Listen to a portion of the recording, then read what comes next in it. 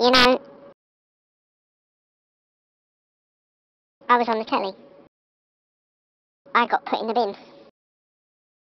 I'm okay now. I didn't like it though. That woman though.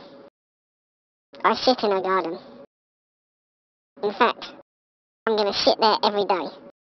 My new spot.